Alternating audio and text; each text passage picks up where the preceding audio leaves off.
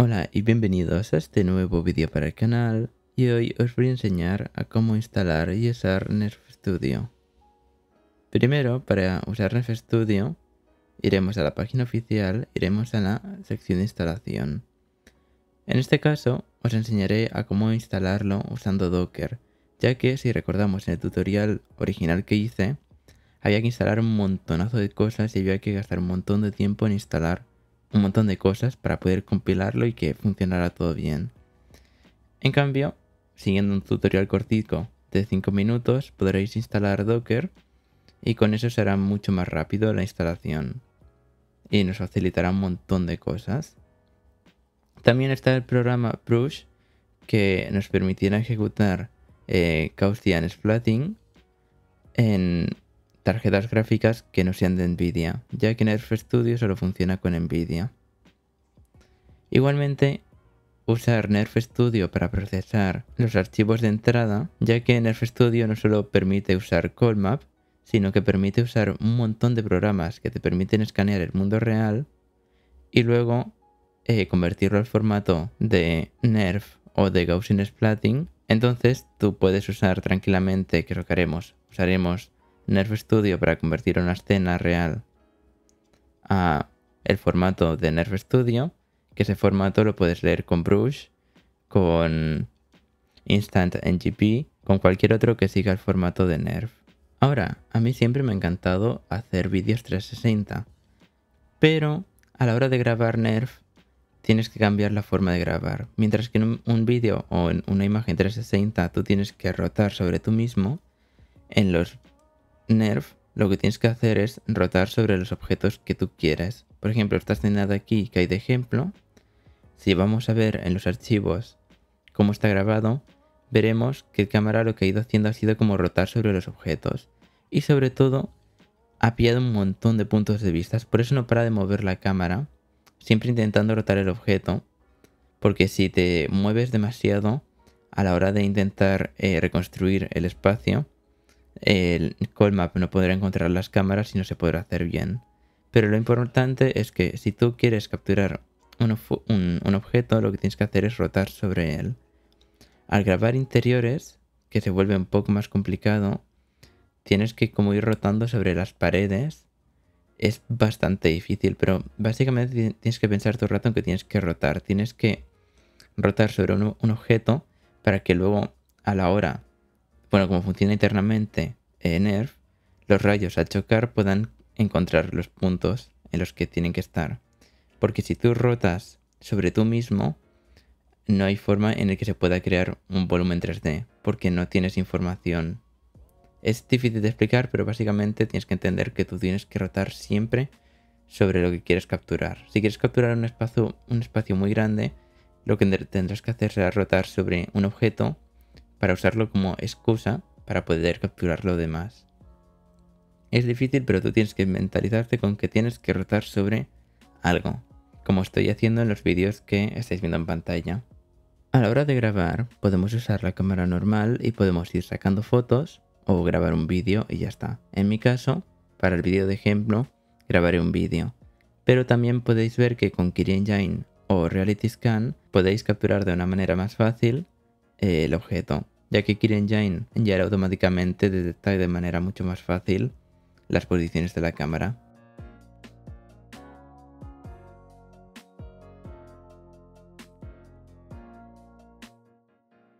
Y en Reality Scan, te, en vez de grabar todo un vídeo, que pesaría demasiado, o sacar muchas fotos, ya te va mostrando en pantalla em, qué fotos vas sacando, para así poder distribuir bien las fotos para poder así asegurarte de que tienes todos los ángulos de cámara posible, ya que cuantos más ángulos y más puntos de vista tengas, mejor se verá el resultado final. Porque a veces, si tú grabas con la cámara, normalmente pillas por una zona y por otras te despistas y no las pillas. En cambio, de esta manera puedes ver qué zonas estás pillando y cuáles no. Además de que si tienes conexión internet, Reality Scan te hace como una especie de mapa de puntos, el cual te permite ver cómo va quedando, para ir viendo si ahí te faltan por algunos lados mm, eh, más puntos de vista. Ayuda bastante a la hora de grabar. pero puedes usar la cámara normal, grabar un vídeo normal y pasarlo al ordenador, que es lo que haré en este tutorial. Pero igualmente podéis usar CureEngine o Reality Capture para poder hacer que sea más fácil. Ya podréis ir probando vosotros. Ahora sí, empezaremos con la instalación. Lo primero que haremos será ir a la página de Brush, a Releases, y descargaremos la versión de Windows o la de vuestro sistema operativo. Yo meteré todo en una carpeta, como veis tengo Brush, un script que os lo dejaré para que lo descarguéis vosotros también, y un vídeo. Tendremos que descomprimir Brush para sacar el .exe. Ahora crearemos una carpeta para meter los vídeos o las fotos dentro. Y ahora daremos doble clic al script. Este usará Docker y automáticamente descargará la imagen de Nerf Studio y la iniciará en esta consola. Así con un clic podemos iniciar Nerf Studio para tenerlo más fácil a mano. Una vez se inicie, iremos a la carpeta Workspace usando el comando cd.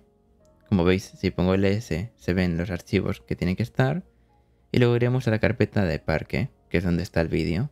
Como veis, aquí tengo un vídeo en el que estoy rotando sobre un parquecillo pequeño.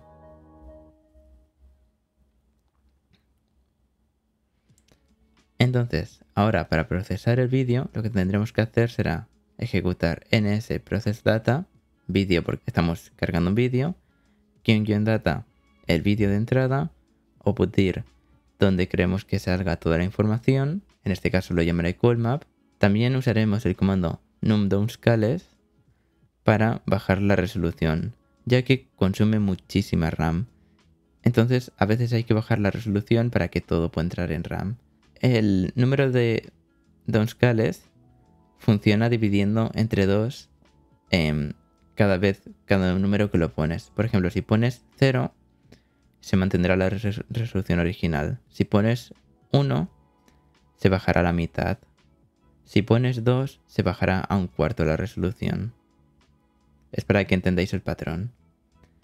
Y luego, como es un vídeo, podemos ponerle el número de fotogramas como objetivo que queremos. Porque el vídeo va a 30 fotogramas por segundo. En total tiene un montonazo de fotogramas. Pero lo limitaremos a 400 porque si no serían demasiados fotogramas y tampoco me entraría en la VRAM, en la memoria de la tarjeta gráfica. Una vez se ha extraído todo y se ha procesado todo, veremos que dentro de la carpeta de CoolMap tenemos eh, el archivo Transforms, el de CoolMap, y las imágenes en diferentes resoluciones.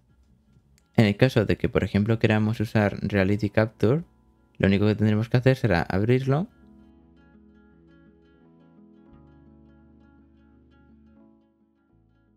Importar el vídeo. Aquí en Jams Length lo que tenemos que hacer es poner en cada, cada segundo cuántos fotogramas queremos que pille. Va un poco raro el número, no, entiendo bien, pero básicamente va, si tú pones 1, cada fotograma sacará solo una imagen. Si pones 0,5, cada segundo sacará solo dos imágenes. Si pones 0,25, cada segundo sacará cuatro imágenes.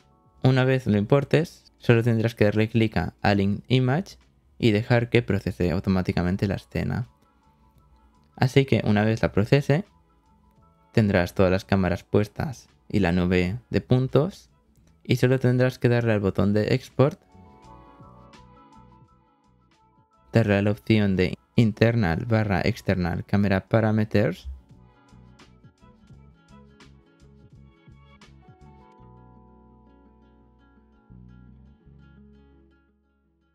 y con esto sacarás un archivo CSV que tendrá toda la información para que luego puedas procesarla con Nerf Studio para convertirlo al mismo formato de Nerf que todos pueden leer. Para hacer esto, en la consola tendrás que poner ese process data, reality capture, csv, el archivo csv, data, la carpeta que se genera automáticamente con los fotogramas. Hay que ponerlo entre comillas porque la carpeta en el nombre tiene espacios. Y ya está. También podremos poner el número de scales. Vamos a poner dos para tenerlo exactamente igual. Y el output dir lo llamaremos reality capture para diferenciarlo del de callmap. Esperaremos un rato y cuando acabe de procesar tendremos una carpeta igual que la de callmap pero que ha sido procesada por Reality Capture. Las dos nos servirán para luego usar Nerf Studio con su versión de Gaussian Splatting o Brush o cualquier otro. Ahora que ya tenemos la versión de CoolMap o la de Reality Scan, podemos usar Nerf Studio o Brush para poder hacer el Nerf o el Gaussian Splatting. En este caso primero lo haré con Nerf Studio. Como veis hay que escribir train. luego el método que tú quieres. En este caso solo lo haré con SplatFacto, que sería la versión de Gaussian Splatting de Nerf Studio. Y solo tenemos que pasarle guion-data, la carpeta que queramos, puede ser la de CoolMap o la de Reality Scan, y ya está. Solo hay que darle Enter y empezará a procesar con Gaussian Splatting la escena. En un rato, en el navegador, si nos conectamos a localhost 7007, podremos ir viendo una previsualización de la escena mientras se entrena. Además de ver las cámaras donde están puestas y toda la información que necesitamos saber. Ahora que se han cargado todas las imágenes en RAM, se generará la escena y luego se cargarán en la tarjeta gráfica para ponerse a procesar la escena. Como veis, al fondo empiezan a haber cambios y en la consola se nos ve en qué parte del entrenamiento lleva y el tiempo estimado. Como veis, como estoy usando 400 imágenes en, en un cuarto de 4K, me está usando muy poca memoria RAM.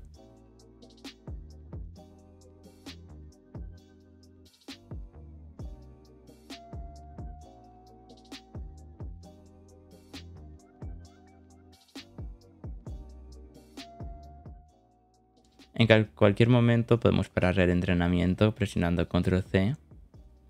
Entonces, si queremos readuar el entrenamiento para continuarlo en otro momento, solo tenemos que usar este comando.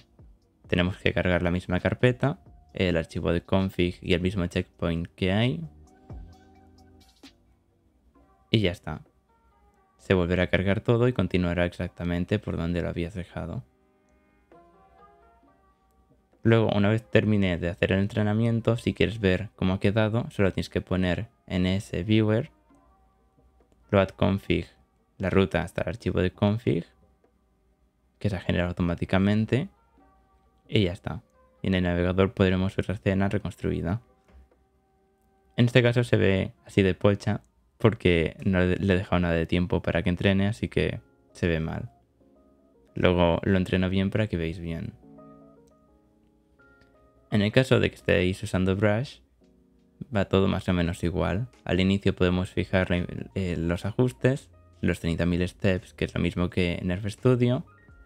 También podemos limitar que se guarde el checkpoint cada 2000 steps, igual que en, Nerf, que Nerf Studio. Y ya lo único que queda es cargar una carpeta. En este caso es la carpeta de parque. Podemos seleccionar también la de Map o la de Reality Capture, cualquiera de las dos sirve. En este caso también pillaré otra vez la de Map. Y como veis empezarán a cargar las imágenes en RAM. Una vez hayan cargado empezará a hacer el entrenamiento. Y como podéis ver, si roto, a la derecha arriba en pequeñito me mostrará la foto más cercana a lo que estoy viendo para ver más o menos qué foto usar de referencia para este punto del entrenamiento. Pero lo demás es más o menos igual que en Nerf. Aquí en la misma carpeta nos irá sacando el archivo PLI que podremos cargar por ejemplo en Super Splat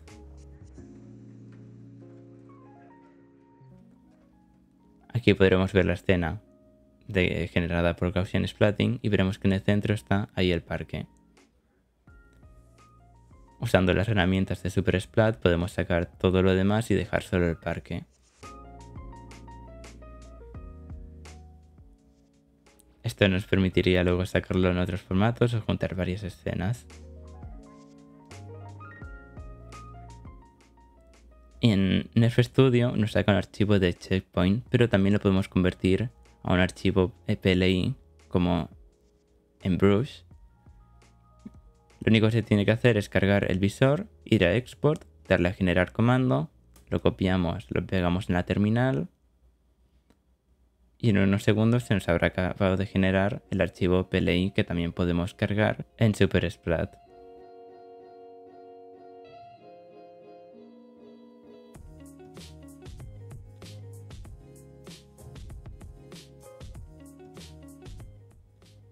Como veis ahí en el centro está la escena.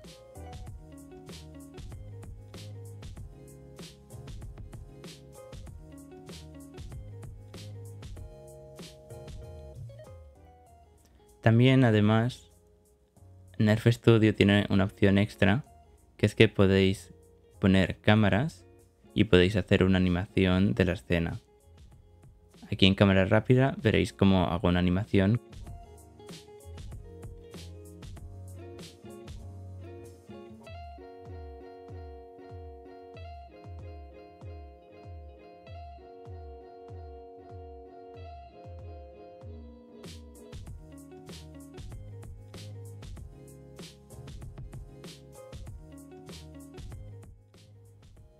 vez hayas puesto todas tus cámaras, solo habrá que darle al botón de generar comando, copias el comando, lo metes en la consola y solo quedará esperar a que se acabe de sacar el vídeo.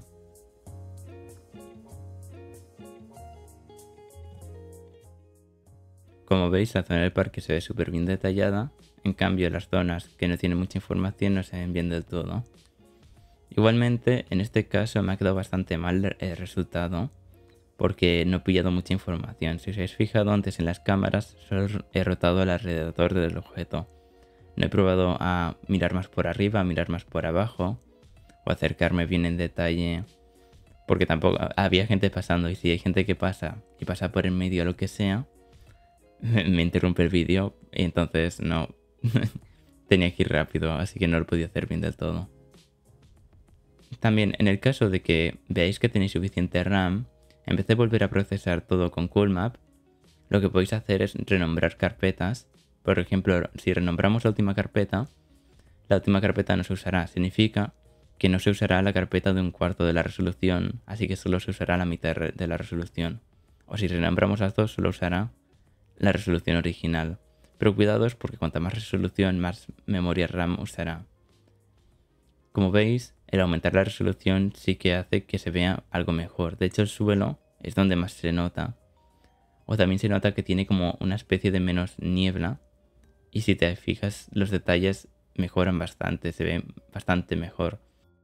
Hay que ir con cuidado porque el, uso de memoria RAM aumenta un montón. De hecho, casi me quedo sin memoria. Mientras que en el original solo he usado 4 GB, en este he usado casi 10 GB es más del doble y ha aumentado solo el doble de la, resolución. Si me pusiera en 4K me aumentaría mucho más. Pero como veis, la diferencia entre las dos escenas es que una se ve mucho más detallada, tiene menos niebla, porque básicamente tiene más información. Sí que es verdad que no ha quedado tampoco tan tan bien y ha mejorado tanto, porque yo suelo pasar unos parámetros customizados que suele ir bien en escenas que están bien hechas pero al no estar bien hechas ha quitado demasiados splattings, entonces no ha quedado bien del todo. Pero sí se puede ver muy claramente que en el suelo se ve todo mucho mejor. En algunos puntos más o menos se ve igual, pero se ve como más definido. Por ejemplo, en la zona de la izquierda se ve como muy oscura. En cambio se ve muchísimo más definida en la de 1080p. Que es la mitad de 4K, que es la resolución que he grabado. Y con esto el vídeo de hoy. Aquí estáis viendo una animación final que he sacado renderizando la mitad de resolución del vídeo original. Como veis en algunos puntos se ve bien, en otros no tanto. Pero bueno, es bastante increíble. Si lo hubiera grabado mejor hubiera quedado bastante mejor. Seguiré practicando y supongo que si encuentro alguna forma muy buena de grabar ya lo compartiré.